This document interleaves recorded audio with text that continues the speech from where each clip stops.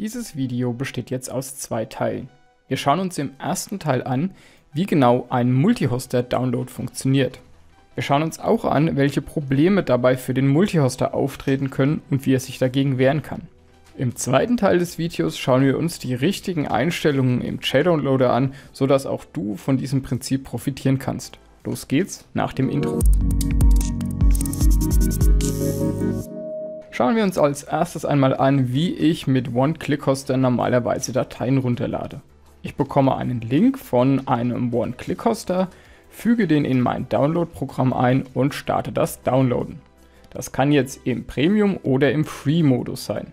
Im Premium-Modus habe ich normal die volle Geschwindigkeit zur Verfügung, im Free-Modus ist die in der Regel gedrosselt. Wenn man nun also mehrere Gigabytes herunterladen möchte, dann würde das im Free-Modus ziemlich lange dauern und man müsste auch die ganze Zeit Captchas eingeben, das Ganze würde also nicht automatisch funktionieren. Um das produktiv jetzt also nutzen zu können, müsste man schon irgendwie einen Premium-Account haben. Das Problem aktuell ist aber, dass es ja nicht nur einen One-Click-Hoster gibt, sondern eben mehrere und ich müsste mir jetzt mehrere Premium-Accounts kaufen. Eine Lösung für dieses Problem bieten eben Multi-Hoster, die eben verschiedene One-Click-Hoster-Accounts bündeln in einen Account. Wie funktioniert das Prinzip?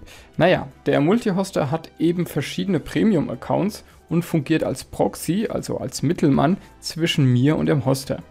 Das heißt, Premium TO zum Beispiel, nehmen wir jetzt als Beispiel, geht einfach her, hat einen Account bei einem beliebigen Multihoster, das seht ihr dann auf der Website von Premium TO, welche unterstützt werden, und lädt von da mit voller Geschwindigkeit die Datei herunter.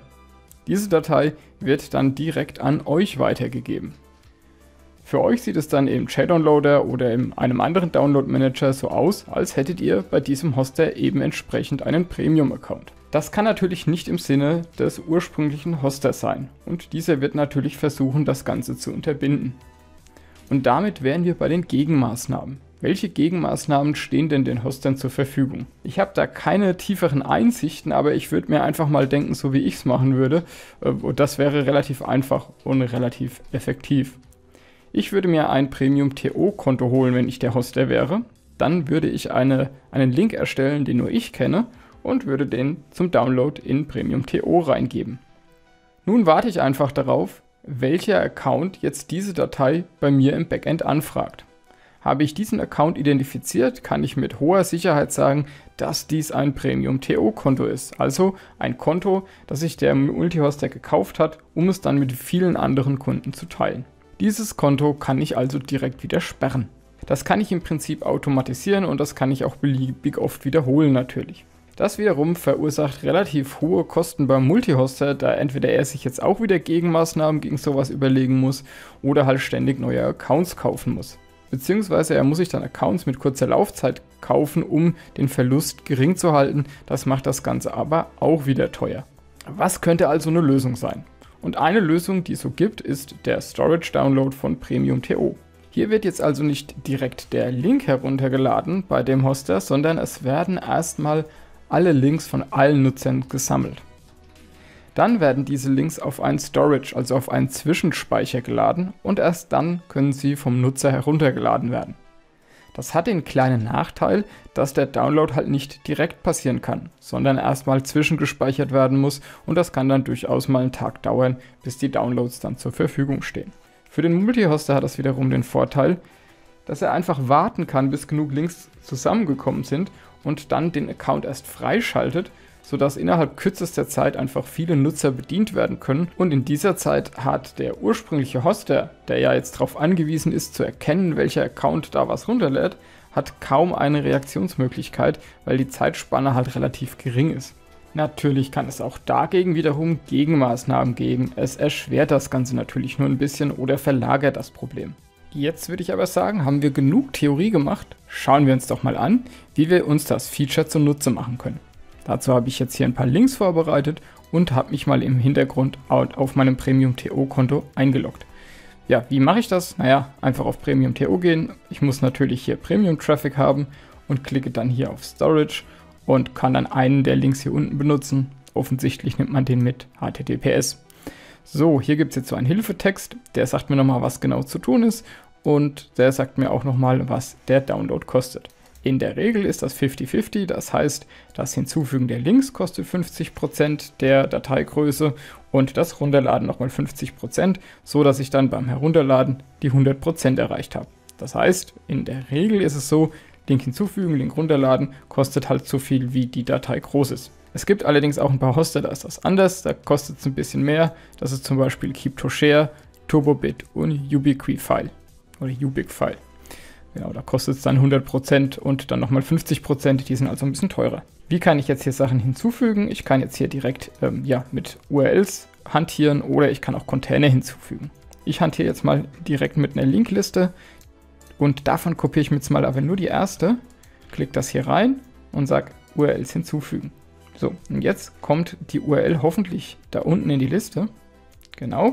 Und in dem Fall hat er das direkt runtergeladen. Also hier musste ich jetzt quasi gar nicht warten. Es sind auch nur 30 Megabyte, steht sofort zur Verfügung. Kann aber natürlich auch sein, dass hier eine Wartezeit anfällt, wie ich ja vorhin schon gesagt habe. Nun könnte ich im Browser das Ganze jedes Mal hier manuell herunterladen, indem ich einfach hier klicke Download this File. Für solche Sachen haben wir ja aber eigentlich den JDownloader, der soll ja uns das Ganze automatisieren. So, ich lösche das hier nochmal raus und jetzt nehme ich mal diese komplette Linkliste und füge die in den Shadowloader ein. Und da will ich euch mal zeigen, wie der dann damit umgeht, dass das in den Storage geladen wird. Hier sehe ich jetzt also meine fünf Dateien, die ich eingefügt habe. Klick das hier einmal weg und sage dann hier Start All Downloads. Was der dann macht ist, das steht ja hier, er fügt diese URL eben dem Premium TO Storage hinzu und wartet jetzt ab, ob der Download dann gestartet werden kann. Hier oben die erste Datei hatte ich ja schon manuell hinzugefügt, die konnte er natürlich offensichtlich gleich herunterladen. Ich gehe mal hier rein und sehe jetzt hier unten, dass auch diese Links über den JDownloader in mein Konto hinzugefügt wurden. Natürlich muss das Premium TO Konto auch dem JDownloader hinzugefügt worden sein. Das kann ich hier tun unter Settings und Account Manager. Dann muss hier Premium TO eingefügt sein. So, der sucht jetzt hier noch die Links und wir können hier also auch live beobachten, ob die schon runtergeladen wurden. Ja, und das ist aktuell nicht der Fall.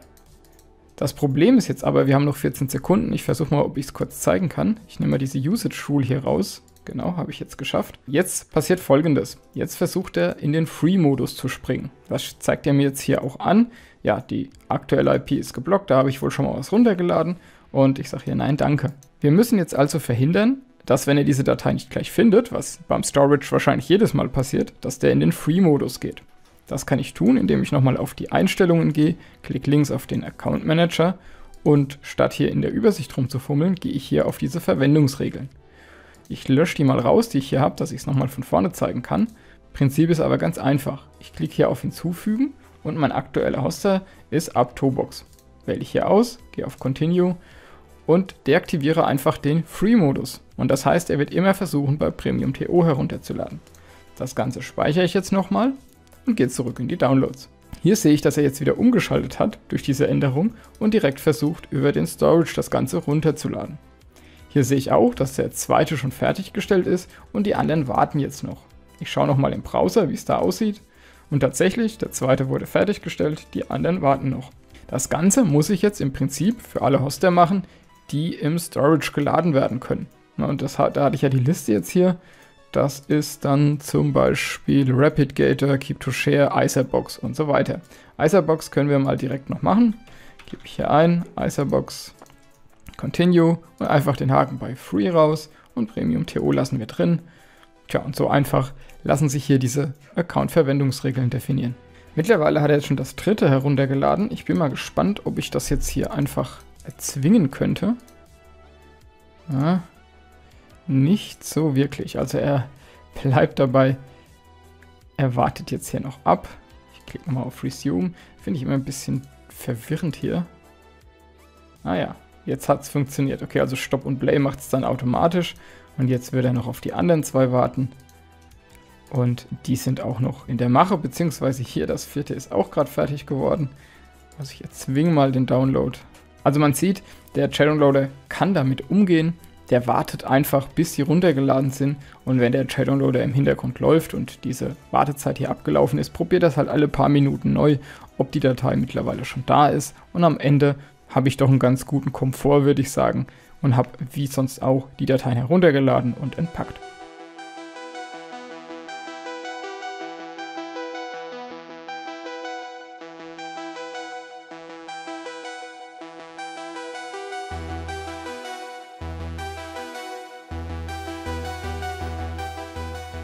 So, jetzt habe ich das Ganze nochmal fertig laufen lassen.